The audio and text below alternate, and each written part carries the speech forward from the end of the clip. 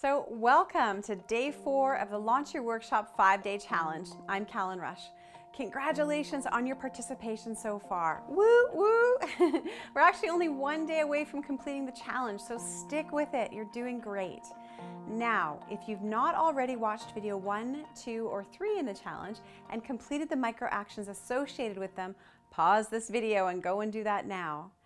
So far, though, if you have been following along, you've chosen your topic, you've chosen your primary tribe, you've figured out the overall outcome of what you'll teach at that first workshop. You are well on your way to having your first successful event, and you're also ready for step four and the micro action that goes along with it. So, step four is about choosing a title for your workshop. And this is one of my favorite steps. I absolutely love teaching about how to come up with great titles. So let's dive in. So there's two types of titles, pain-based and pleasure-based. There are also two types of events to create titles for, front-end events and back-end workshops. Now, there's a big difference between titles for front-end or marketing workshops and titles for back-end or paid workshops or programs. I won't get into depth about how to write titles for front-end or marketing workshops right now. That's something that our Magnetize Your Audience program covers. And we're here to write a title for your first paid program. However, I will give you just a little context for front-end titles so you can determine the difference for yourself. So a front-end workshop is generally a free or low-cost event with the main goal of positioning a first paid program or workshop. So in other words, front-end workshops are really marketing events.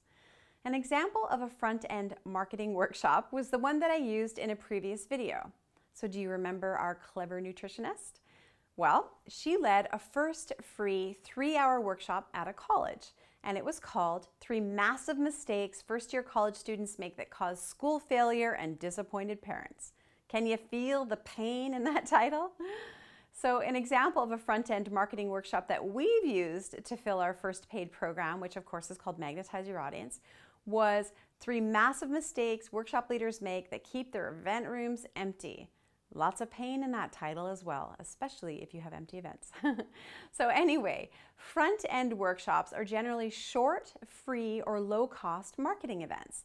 They're used as a first contact with a potential client, and they're promotional in nature. But what we're going to concentrate today is on back end events, workshops that people actually pay to attend. That's what we've been building in the challenge. So, what is back end? Again, a back end program or workshop is a paid program. It can be the first or the second or the third or the fourth workshop in your spiral.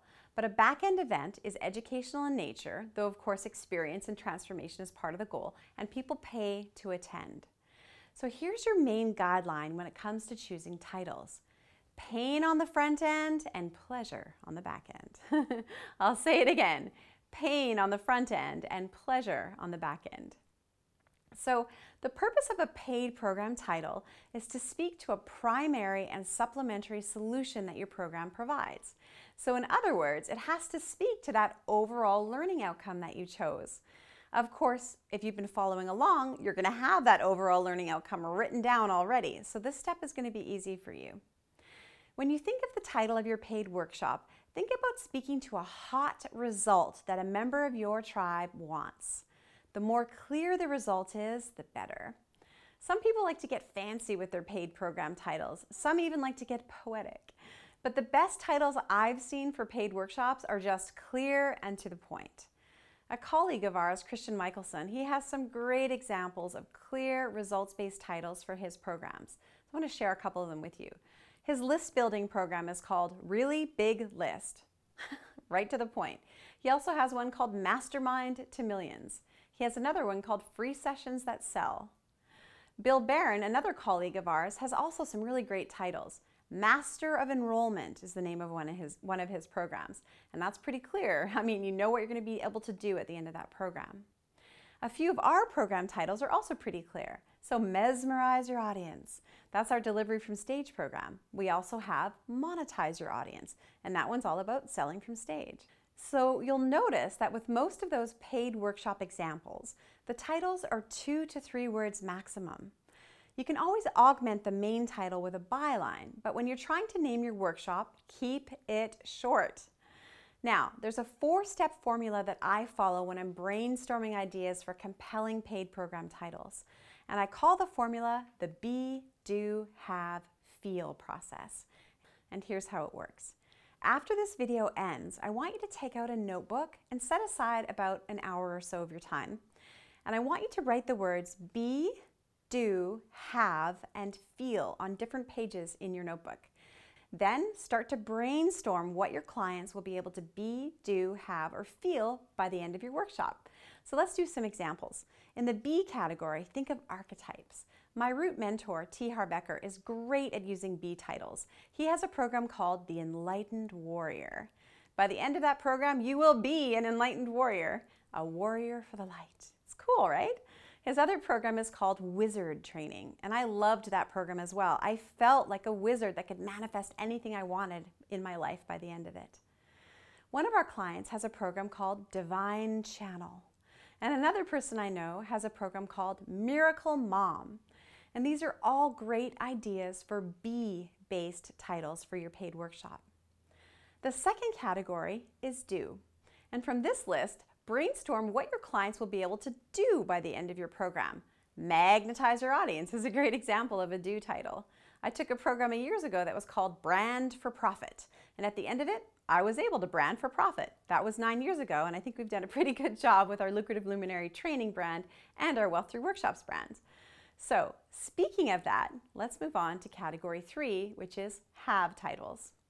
So, Wealth Through Workshops, which is the name of my book, speaks to what people who read it will have at the end.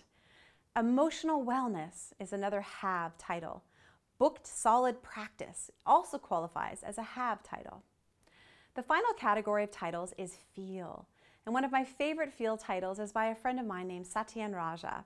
And it is Living Ecstasy. Can you feel it? I want that just by looking at the title. Another great feel title is Happy for No Reason. You got it? Okay. So obviously your micro action today is to choose a results-based, clearly articulated title for your paid program. To set you up for success, here's some tips. I want you to make it sound easy, not like a lot of work. I call this the magic pill approach. You want people to look at the title and immediately feel like it would be easy to get the result if they attended. Try to avoid using ing in your titles. For example, magnetize your audience sounds easier than magnetizing your audience. The ing seems to suggest more work will be involved, so keep it easy. Number two, make your workshop title easy to say and spell and watch the cliche factor. Quantum leap is a cool idea, but it's been done before by many other people. Number three, use resources to help your brainstorm. There's actually five main places that I often go when I'm trying to come up with great results-based titles for paid workshops. The first place I like to go is Amazon.com. All you need to do is go to Amazon.com, type in a subject area that has to do with your topic, and see what books come up. You're going to get lots of great ideas from main book titles as well as the table of contents in books. The second place I like to go is my own bookshelf. I think it's a fantastic idea generator. I look at the book titles that I have uh, purchased and I get creative mixing and matching words. The third place is a magazine rack at your local store. So look for a magazine that your tribe might read and see what titles are listed on the cover. The best copywriters, title makers, and headline creators in the world write for big magazines, so borrow their ideas. The fourth place I look is at labels for products that I see out in my environment. I remember trying to come up with a title for a client who led outdoor retreats in the forest, hiking retreats. So one day on the bus, I noticed a label on a young woman's backpack, and the label said Power Hiker. And I was thinking, hmm, that might be a good idea for a program. I also look at poetry and prose to get ideas. Poets are the best wordsmiths around and often come up with beautiful, clear ways to talk about things. Truthfully, anything can be an inspiration for your title. Now, it's your turn. So your micro action for today is to brainstorm a list of be, do, have, and feel titles that are relevant to the overall learning outcome for your paid program. And once you have a list, I want you to choose one and post it on the Facebook group. As I said, I love looking at titles, so I'm going to be going over your title ideas and giving you feedback and pats on the back. So that's it for today. Good job listening. Have fun choosing your title, and I look forward to seeing what you come up with. See you on the next video, and until then, be brilliant.